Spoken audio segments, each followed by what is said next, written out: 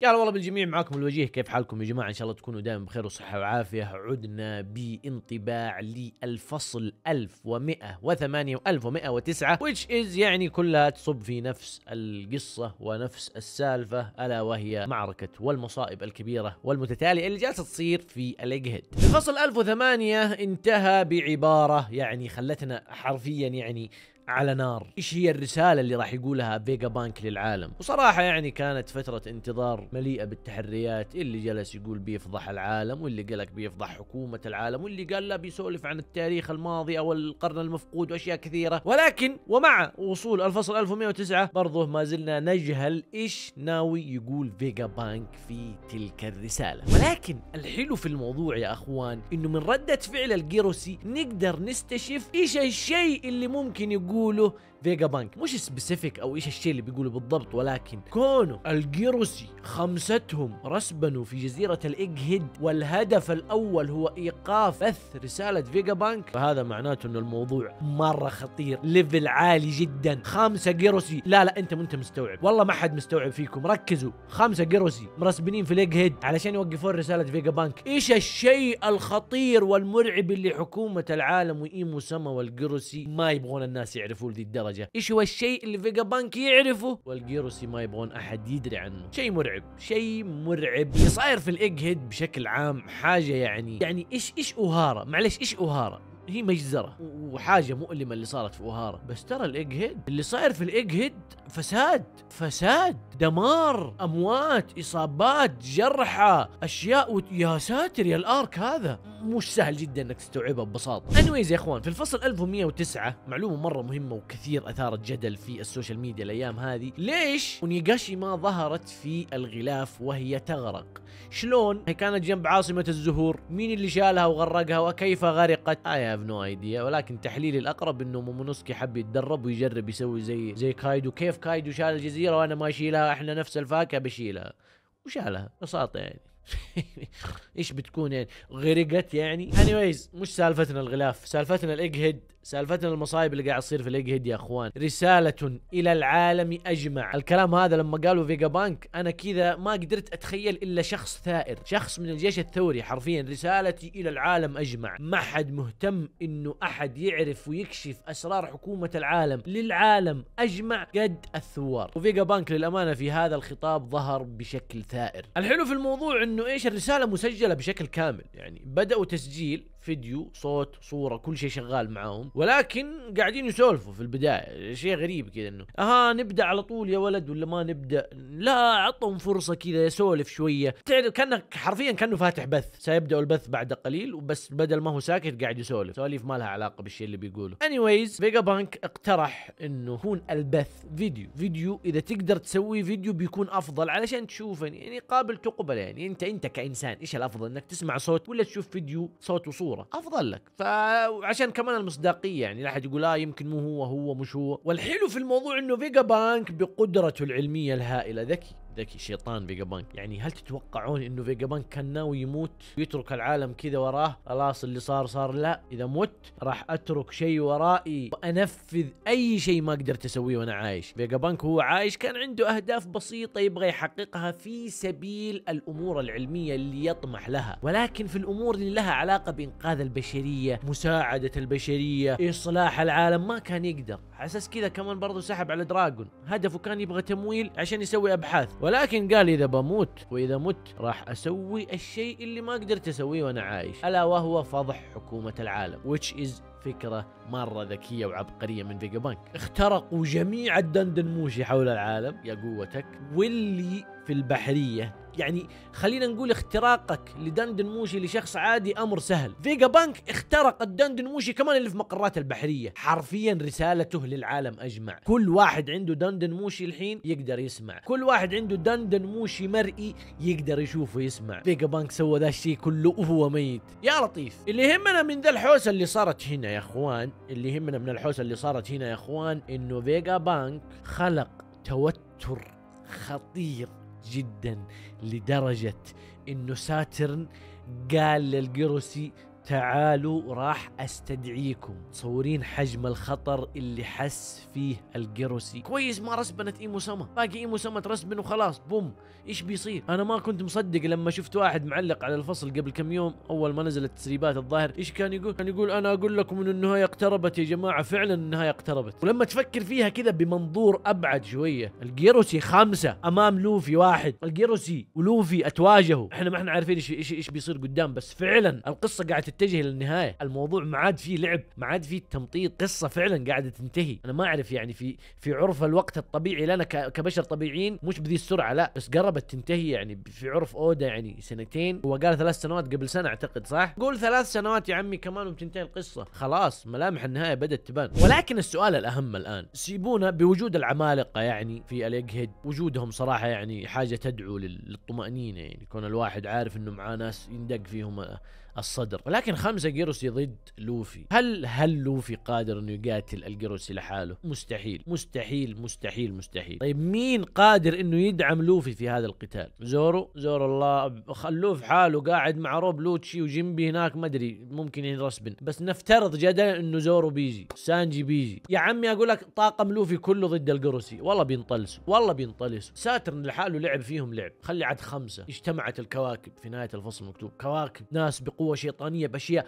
بقوة غريبة لسه ما حد قادر يستوعبها. حاجة جديدة كذا علينا دخيلة علينا. فلا تقول لي إنه لوفي قادر يقاتل خمسة ولا تقول لي إنه طاقم لوفي قادر إنه يطيح بخمسة جروسي مستحيلة. فنحن أمام خيارين الآن. إما إنه يحصل تدخل منتظر. شوفوا أنا ما أنا مرة ما أحب أرجع دراجون وأقحمه في الموضوع بس ترى فكرة إنه دراجون يرسبن الآن واردة. في نسبة ضئيلة. لأنه خمسة جيروسي تخيل إنك أنت يا ثائر تخلص على خمسة جيروسي إيش الرسالة اللي بتوصلها للعالم وكون هذا الشيء بيخدم الجيش الثوري مصالح الجيش الثوري إسقاط حكومة العالم ففيه وفيه فرصة ولو ضئيلة إنه الجيش الثوري أو دراجون شخصيا يرسبن. أنا والله قلت لكم ترى أنا موضوع إنه دراجون دراجون الموضوع ذا صار مزعج بالنسبة لي لأني أحس إنه ما بيرسبن. بس في ظل الظروف ذي أحس إنه أنا الأوان. كيف بيرسبن؟ المسافة بيننا يا حبيبي مو بعيدة ما أدري. أحس. في فرصة ضئيلة بس مش مش مرة واردة. عموما لوفي لحاله ما راح يقدر يقاتل القرسي ولا لوفي وطاقمه كامل يقدر يقاتل القرسي. هذه الاحتمالات أنا قاعد أقولها على أساس بس نستوعب القصة رايحة إلى وين. طيب كيف بيسوي لوفي ضد الخمسة قرسي؟ ممكن يكون في تدخل جديد. دراجون الله أعلم. شانكس آه. I don't know العمالقة الاثنين جا جا جا جا جا ممكن يكون لهم تواجد في ذيك المعركة. ما أدري. صعبة يا عيال صعبة. والله صعبة. خمسة جيروسي. أنا قاعد أكرر لكم إياها كل شوية عشان تستوعبون. خمسة جيروسي. أقوى قوة في العالم. بعد ايمو سما يا عالم ايمو سما إيش عنده. فملخصا سريع. لوفي بيقاتل لحاله جيروسي لا. لوفي مع طاقمه لا. لوفي مع أحد من طرف آخر يمكن العمالقة يمكن ما أدري. بس أنا مؤمن إنه في تدخل قادم. لازم في تدخل قادم ضروري جدا. بظهور خمسة جروسي في نفس المكان لازم يكون في تدخل قادم. مين هو؟ الله أعلم. تيتش ممكن يرجع كاتارينا يقول لها ما دامك نسختي واحد انسخي الأربعة بالمرة وتعالي. كيف تسوي؟ الله أعلم بسرعة. ب- بال- بالاستعانة بالانتقال الآن اللي مع آه شو اسمه اللي معاها؟ كله جايز. ولكن لوفي لن يستطيع أن يقاتل القرسي لحاله ولا مع الطاقم تبعه. قرسي مستوى مرة مرة مختلف من القوة. حلو حلو. غير كذا يا جماعة في سؤال وفي علامة استفهام مرة كبيرة فوق راسي. إيش الشيء اللي يربط الجروسي في بعضهم لدرجة إنهم يتخاطرون؟ ترى قاعدين يسولفوا بالتخاطر. تخاطر ويقول لهم بستدعيكم يقولوا له okay ويستدعيهم. من ماريجوا لين الإيجهيد. كذا. إيش إيش القوة الغريبة دي إيش الشيء اللي قاعد يربطهم بحيث يقدروا يتواصلوا ذهنيا مع بعض؟ أنا عارف إنك بتقول لي إيمو سما بس إيش هي إيمو سما على كذا؟ إيش قوة إيمو سما؟ أشياء غريبة. شيء غريب. كل شيء يصير منطقي لما تتكلم فيه الهاكي التصلب آه، تصنيفات الهاكي بشكل عام فواكه الشيطان وتصنيفات الفواكه تبع الشيطان إلين نجي عند القرسي وإيمو سما وتصير كذا علامات استفهام كثيرة. إيش هذول كيف إيش في إيش في شيء غريب؟ قوتهم منظرهم أسلوبهم في القتال شيء غريب. مظهرهم غريب أهدافهم غريبة أعمارهم مجهولة. علامات استفهام كثيرة حول القرص وإيمو سما كل ما لها تزيد تعقيدا وغموضا أكثر وأكثر. فأتمنى إنه الفصل القادم مش بالضرورة يجيبنا على ذي الأسئلة ولكن يعني خلينا نفهم شوية من إيش هم ذول القرصي بالضبط. إيمو سما خلقهم. إيمو سما هو اللي أعطاهم ذي القوة. إيمو سما قادر إنه يشيل منهم القوة وينقلها لشخص آخر بناء على ما أدري. الموضوع مرة فوضوي صراحة ويخليك تسأل أسئلة كثيرة. تعليقكم المهم وتعقيب يعني قبل ما أنا ما أدري كيف يعني وصلنا لذي المرحلة ولكن لوفي وعندما تستيقظ فاكهة لوفي فالهزلية والكوميديا والاستهبال والروح الطفولية راح تحضر بشكل قوي جدا. لوفي طفش من ساترن وطفش من آه كيزر. يا أشغلتم أمنا لا بتخلونا نفقع ولا بتخلوا الطاقم يفقع. طاع وصدقوني جلست لحظة إدراك كذا يمكن أبو 15 ثانية لين استوعبت إنه لوفي قاعد يسوي فيهم عجينة تميس بيتزا. لوفي زحف. لا زحف لوفي صراحة زحف. بس الغريب في الموضوع إنه رماهم وديور ساترن. وهل ساترن ديور في ذي اللحظة يا أخوان؟ لأنه بالفعل يبغى يرجع يهزم لوفي ولا لوفي ما عاد صار هدف أصلا حاليا وفي شيء أهم ألا وهو قطع.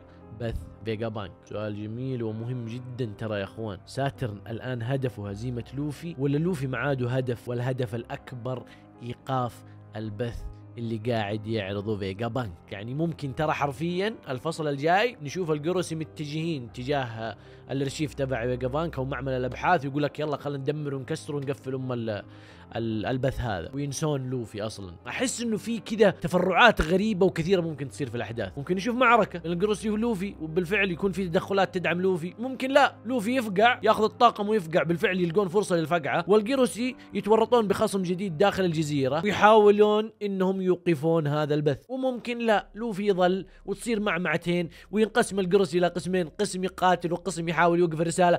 الله يقلعهم لحسة المخ الله يقلعهم لحسة المخ والفوضى اللي سويتها يا اودا ذا الفصل أو في ذا في ذا ال arc. يا لطيف. عموما يا جماعة والحلو في الموضوع حاليا إنه كل شبر في أرجاء العالم الآن يقدرون يسمعون هذه الرسالة. وتخيلوا إيش ممكن تكون هذه الرسالة لو بالفعل كانت خطيرة جدا وراح تفضح حكومة العالم. إيش بيصير في العالم؟ العالم راح ينقلب رأسا على عقب لو فيجا بانك فضح حكومة العالم وفضح أسرارهم. ممكن يظهرون الناس ترى. رمم زبايل يقول لك كيفهم حكومة العالم قاعد تسوي الشيء اللي يت... اللي يتطلب إنهم يسووه والغاية تبرر الوسيلة خليهم يعملوا اللي يعملوه. سمعا وطاعة يا حكومة العالم. ولكن النسبة الأكبر والأغلب راح ينقلب. راح تكون هذه إضافة جيدة لمين؟ لدراغون للجيش الثوري. وراح يتسع وتتسع رقعة الجيش الثوري حول العالم والمنقلبون على حكومة العالم بشكل عام. وربما لن يظل أحد يدعم حكومة العالم في هذه الكرة الأرضية تبع قصة ون بيس إلا مريجوا فقط.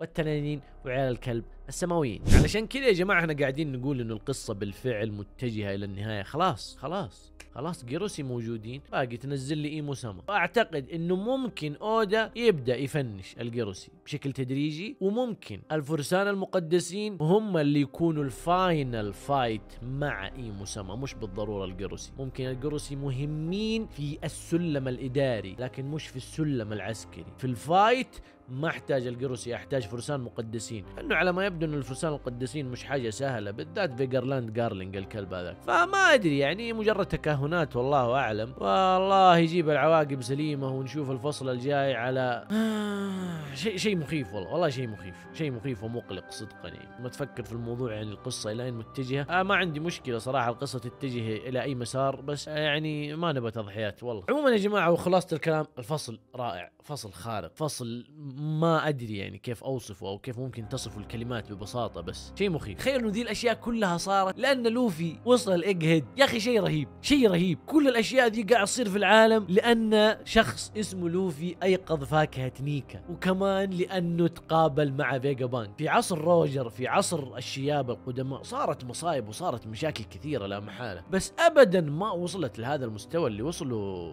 اللي وصلوا العالم في عهد لوفي. لوفي قاعد يقلب الدنيا راسا على عقب. روجر أول ما قابل ريلي وهم شباب كان يقول له هي تبغى نروح نقلب العالم راسا على عقب؟ روجر في ذيك اللحظة ممكن كان في هدف معين يعرفه أو قرأ عنه راح يقلب العالم راسا على عقب فعلا. ولكن آسف لك يا روجر اللي راح يقلب العالم راسا على عقب الآن في هذه اللحظة قاعد يقلب العالم راسا على عقب ألا وهو لوفي نيكا أو الجوي بوي. محرر العبيد محرر الدول البطل الأسطورة الزاحف اللي ما يهمه شيء لوفي.